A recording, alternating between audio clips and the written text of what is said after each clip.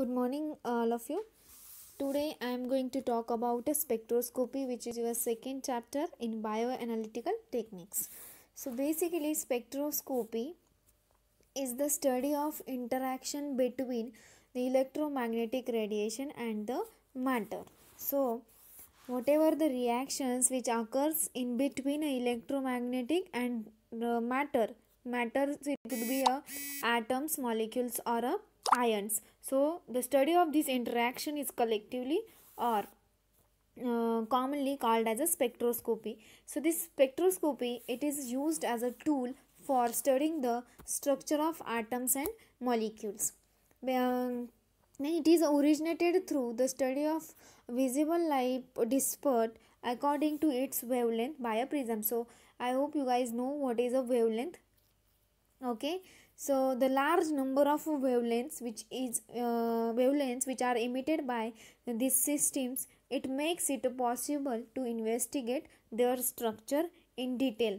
Okay? Like uh, if you want to determine the electro uh, sorry electronic configuration of a ground and various excited state you can use this spectroscopy as a tool then it is also uh, provides a precise analytical method for finding the constituents in a material having an unknown chemical uh, composition. Suppose if you have any uh, unknown chemical uh, composition and you don't know what are the contents are present in this chemical sample. Uh, so um, uh, for that if you want to determine that unknown chemical uh, sample material you can use this spectroscopy the so the spectrometer is uh, basically used to measure the present uh, particular compound or a particle in a molecule. So if you want to determine any unknown chemical okay? So but uh, for that you can use a spectrometer okay? Now the spectrum. So spectrum is a uh, plot of amount of light which is absorbed by a sample uh, absorbed by the samples versus the wavelength of that light and the amount of light which is absorbed that is called as a absorbance. Okay? So these terms uh, are very important key. What is a absorbance? So spectrum uh, is what? So it is basically a plot mean between um, how much amount of light is absorbed by a sample versus the wavelength of that light. So um, so you know that uh, the light which which are means uh, different different forms of light they have a specific wavelength also okay? So this uh, spectrum means the amount of light which is absorbed that is called as a absorbance. Now the second uh, another point that is electromagnetic radiation. So uh, we know that the spectroscopy is the study of whatever interactions are happening between electromagnetic radiation and the matter so we will we discussed already ki what is matter and what it could be okay like uh, atoms ions or molecules now the electromagnetic radiation means what so this is a form of energy that is uh, all around us okay so like ATP. ATP is a form of energy which is present in the cell. Same like uh, electromagnetic radiation is a form of energy that is all around us. Then it is also a means it has both electrical and magnetic characteristics. So we can also say there is a combination of electrical and magnetic characteristics. The electricity and magnetism, uh, the ones uh, thought to be separate forces the electric and magnetic fields in electromagnetic waves they oscillates along the directions perpendicular to the propagation direction of that. So one scientist who had work on this that is James Clerk Maxwell who uh, developed um, united uh, sorry unified theory of electromagnetism electromagnetism it means it deals with how electrically charged particles interact with each other with the magnetic field. So by name you can say there is a electro and magnetism. That means there is a uh, study of how electrically uh, charged particles uh, they interact with each other and uh, uh, with also a magnetic fields. Okay? So you can see electromagnetic radiation is the combination of two like uh, electric fields and magnetic fields so the you can see there is a length of a electromagnetic waves which is also called as a wavelength okay? So this uh, wavelength it means uh, the distance between crest or trapes or I can also say the distance between two successive crests and two successive trapes okay? And this is the traveling direction. So there that is always a perpendicular to each other. Then the another term which is uh, electromagnetic spectrum and it is very important uh, according means uh, if you have a uh, this type of questions are in your exam also. So now what is electromagnetic spectrum?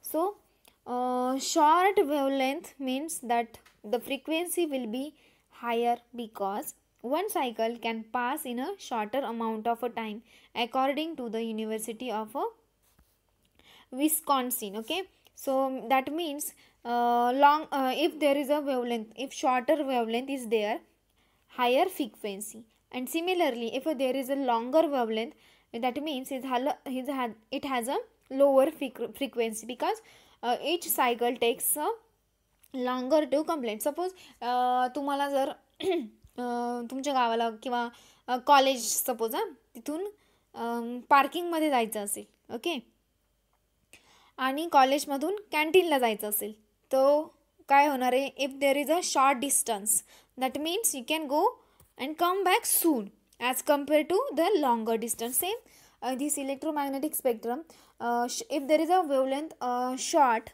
that means the frequency is a high if and it, uh, if there is a longer wavelength the frequency is low the so the term which is here that is a frequency so frequency means what? So frequency is a number of waves which are produced each second that is measured in a z okay? Hz that is you need to determine to measure the frequency. Then the wavelength that means the distance between two successive waves which is um, measured in the meter okay? And the third um, concept that is a amplitude so amplitude is the maximum distance um, wave sorry extends beyond us a middle position so amplitude is means what the maximum distance a wave extends beyond its a middle position म्हणजे आता समजा तुमच्या मध्ये काय असणार आहे suppose दोन तुमचे क्रिस्ट आणि ट्रप्स तुम्ही काढले फिगरमध्ये जसं की बघितलं त्याच्यामध्ये जो मिडल पोझिशनला जे एक आपण लाईन काढतो त्याला तो काय असतो? म्हणजे जो जी डिरेक्शनपासून जी लाईन असते. सो तुम्ही फिगरमध्ये बघितलं की that is a perpendicular okay so जे फिगरमधून जो क्रिस्ट किंवा ट्रब आहे आपण म्हणू त्याला ज्या फिगरपासून त्याच्यामध्ये जे अंतर आहे that is called as a amplitude so if the distance is maximum किंवा maximum distance wave extends beyond this medial position B मिडियलच्या पोझिशनच्या पुढे असेल तर that that thing or that place or that that is one concept that is called as a amplitude then the electromagnetic spectrum it uh, ranges from a very short wavelength like a gamma rays is very uh, and to a, a very long wavelength so shorter wavelengths that is called as a gamma rays and longer wavelength is called as a uh, radio waves okay so this spectrum it always it ranges from short wavelength to long wavelength then the visible region of the spectrum extends approximately over the wavelength ranges that is a 400 to 700 nanometer. So uh, the visible uh, range visible region जो काय spectrum असेल त्याची wavelength कशी असणार आहे? It is in between four hundred to seven hundred nanometer then the shorter wavelength being the blue end of the spectrum you can see this what is what I this theory is according to the figure so we will see in figure also first I tell you the theory of that figure okay the shorter wavelength being the blue end of the spectrum and the longer wavelength to the red okay so you, as you know key electromagnetic spectrum it ranges from uh, short to long. So for short it is uh, blue and long it is red okay?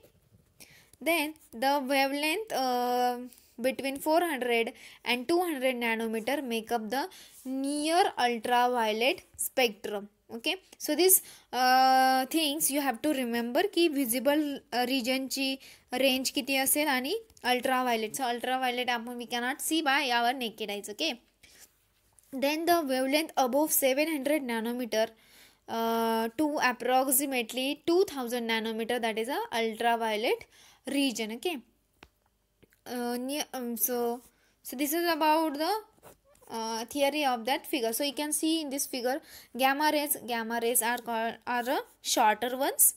Then x rays then uv then you can see there is a ir infrared and la, uh, then uh, microwave and radio. Okay? So this is the figure of a electromagnetic spectrum and this is the these are the wavelength range which are measured in the uh, meter. Okay so you can see the which region is uh, visible or you can see in between uh, which wavelength we can see uh, which uh, rays are present in that region okay? So in this figure you can also see mm, gamma rays x-ray ultraviolet so this is the same figure like uh, first one okay? So this is shorter wavelength higher frequency. That means it is a highly energetic or higher in energy. Then if there is a longer wavelength uh, then they have a lower frequency and also a lower energy. Okay?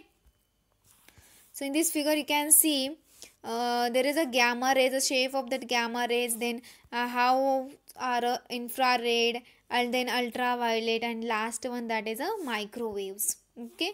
And this is also a same figure uh, for electromagnetic spectrum. You can see here there is a wavelength which is measured in the meters.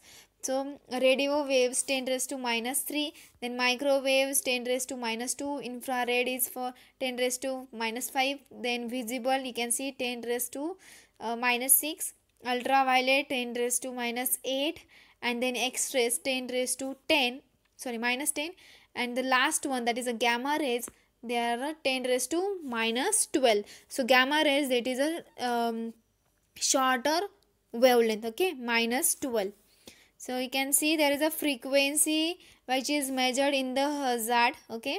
And then visible light you can see. There is a arrow that is um, we can see okay? So this is all about your spectroscopy. Now the another topic that is a means uh, it involves different um, types also okay? And we, we will discuss about it in a next lecture. Thank you